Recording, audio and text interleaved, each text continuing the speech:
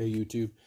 Uh, I replaced this window pane in my vinyl window. It's only five years old, but uh, we had a big snowstorm this year and we had 100 kilometer an hour winds and uh, it broke the uh, the outside pane, which uh, I was happy that the inside didn't break. So I taped it up and uh, I had to wait six weeks for another window from where, where I live.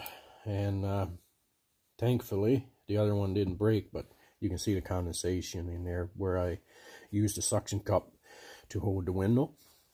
But uh, I took pictures because I couldn't film, but I'm just, this is already out and everything else about I'm just going to show you what, uh, you know, quickly, but I'll put the pictures up as well. On the bottom, there's going to be two shims, plastic shims.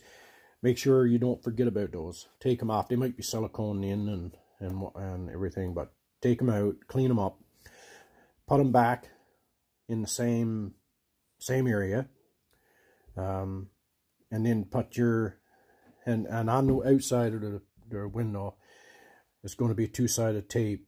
This is I don't know. This is just minute, but on the other on the inside of the, the vinyl, there's going to be two-sided tape.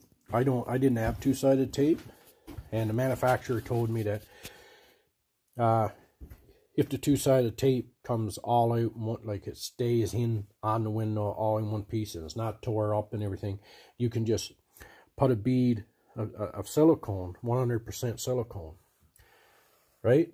Or on the, uh, the perimeter, and that should seal your window in um, when you push it in.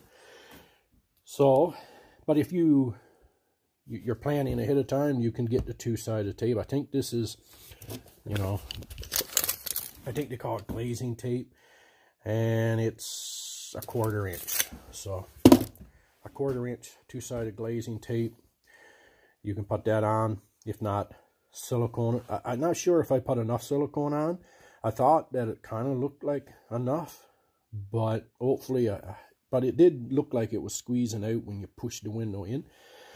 So anyway, um, don't be discouraged. This is the first one I've ever done, and um, it went pretty good.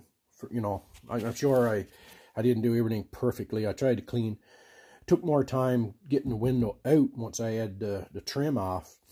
And the trim, do the, um, you take it off with this window. You'll take off the verticals and then the horizontals. Then you'll replace it with the horizontals and then the verticals, right?